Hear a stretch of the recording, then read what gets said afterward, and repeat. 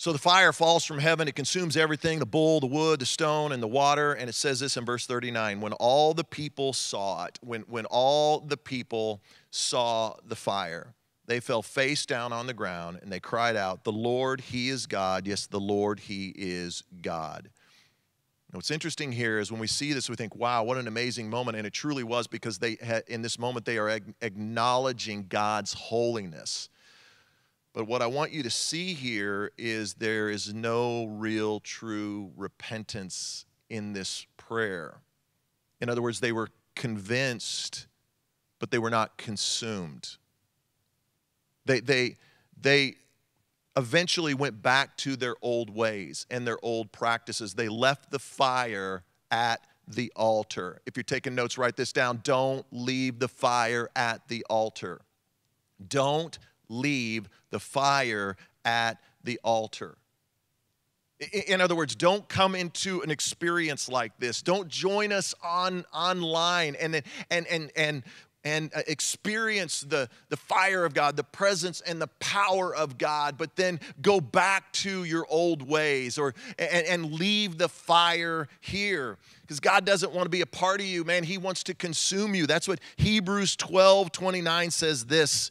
Hebrews 12 29. For our God is what? He's a consuming fire. He doesn't want part of you, and He wants all of you.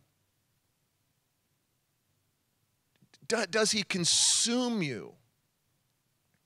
See, when His fire consumes you, you're like a mini temple and it goes with you everywhere that you go your workplace, your neighborhood, your campus, uh, everywhere that you are, there is the fire of God. It, it uh, determines your decisions, it, it, it, affects your attitude, it, it shapes who you are, it, it, it, it works in all of your interactions, how I interact with others. When I have the fire of God and it consumes me, it goes everywhere with me.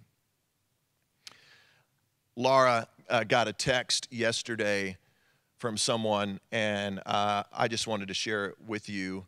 As we all heard the news yesterday, everybody, some of you excited, some of you frustrated, that uh, Joe Biden is President elect Joe Biden. And throughout this series, uh, I've just been trying to say the answer is not in the White House, it's in our house.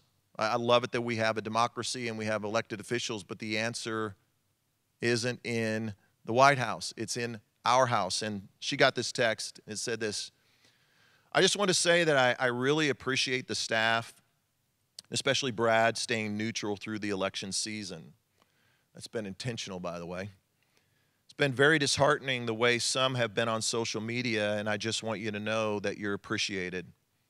Regardless of who's in the White House, God is in our house.